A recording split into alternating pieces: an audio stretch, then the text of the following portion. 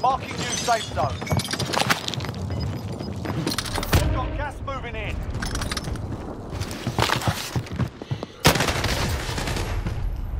Only five remain. We'll secure the win next time.